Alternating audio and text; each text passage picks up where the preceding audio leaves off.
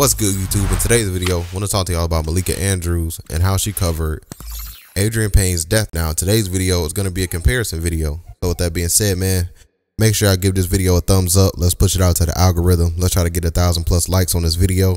Y'all been crushing it on the Malika Andrews videos, man. Without y'all, these videos wouldn't be doing the numbers that they are doing. So, I just want to say I appreciate y'all. Salute to y'all.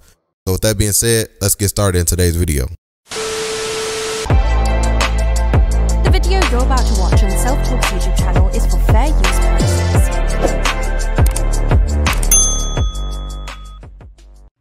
Um, shifting gears, uh, former Michigan State star Adreian Payne was shot and killed in Orlando, Florida, early Monday morning, the Orange County Sheriff's Office said. And, and Payne was the 15th pick by the Atlanta Hawks in 2014 played four seasons in the NBA with multiple teams. In 2018, he was waived by the Magic after he was named in a report by ESPN's Outside the Lines that he'd been involved in an alleged sexual assault at Michigan State in 2010. No charges were filed in that case. Prior to playing in the NBA, Payne was a member of the All 10, All Big Ten second team in two of his four seasons with Michigan State.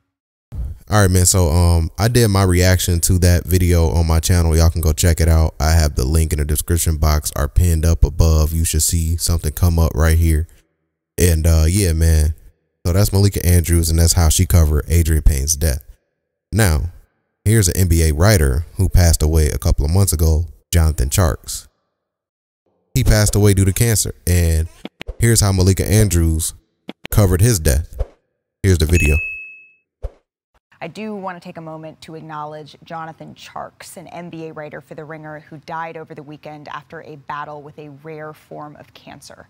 And he was just 35 years old. Tjarks wrote extensively about the Mavericks, and we at NBA Today send our heartfelt condolences to his wife, Melissa, and his son, Jackson, and his entire family. NBA Today will be right back.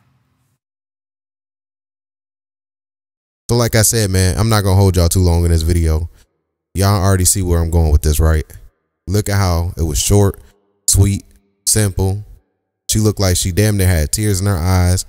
It was compassionate. If his family heard that, they could say, wow, thank you, ESPN. Thank you, Malika Andrews. That was so nice of you to do that. And then you go to Adreian Payne's video. Imagine his family having to hear that. I would be pissed off if I was Adreian Payne's family. So with that being said, man, y'all come on down to the comment section. I would love to hear y'all thoughts on this comparison. Like, share, comment, and subscribe. This is Self Talk for Self Talk News. I catch y'all on the next video. If you're a new sub, comment down new sub. If you've been around to the page, just say salute. I appreciate y'all, and that's my time, y'all. And we out. If you made it this far in the video, don't forget to hit that like button, subscribe if you're new and leave a comment down below. If you would like to support the channel you can do so by hitting the Cash App at Self Talk YouTube. Thank you.